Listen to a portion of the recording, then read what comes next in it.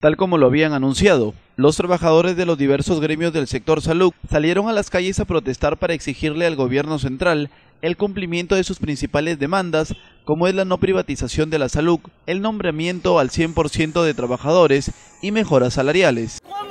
¿Cómo ha sido el manejo presupuestal de los 17 millones para pagar el bono a los profesionales de la salud?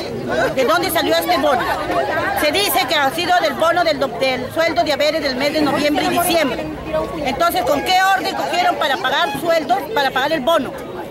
¿Eso significa que ustedes se van a quedar sin sueldo? Nos vamos a quedar sin sueldo porque el Ministerio de Economía y Finanzas no ha aprobado todavía ni la ley, no se le ha debatido el presupuesto, nada. Y ahora la ministra renuncia y los 17 millones, ¿quién va a pagar noviembre diciembre? ¿Quién va a pagar guardias? Ahora, el cambio de grupo ocupacional, el cambio de grupo ocupacional no se ha respetado el cronograma. Yo formo la mesa del, del, representante de los trabajadores del sector salud para que se dé el cambio de grupo ocupacional. Y a la fecha el cuadro no se está respetando.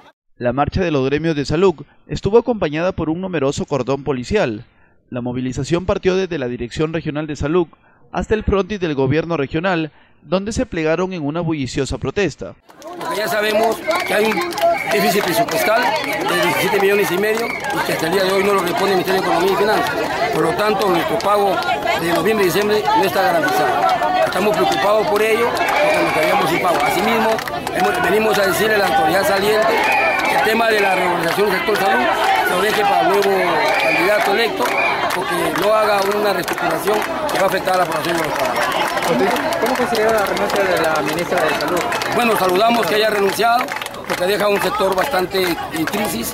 Hay una crisis, hay una crisis sanitaria, eh, presión crónica y anemia infantil en aumento, malaria y dengue en aumento, enfermedades crónicas que no son atendidas y es más, nos deja a los gremios sin resolver nuestros problemas. ¿Y ahora qué esperan del próximo? Bueno, que se siente con los gremios a dialogar, a consensuar nuestras políticas remunerativas de recursos humanos y asimismo el tema sanitario. ¿Pero ustedes continuarán con su medida de lucha? Esto es dentro del, del, del marco de la huelga nacional. Uh -huh. Nuestra huelga nacional inició el 23 de octubre. Los protestantes indicaron que si hasta el lunes no obtienen una respuesta favorable a su pedido, radicalizarán sus medidas de fuerza.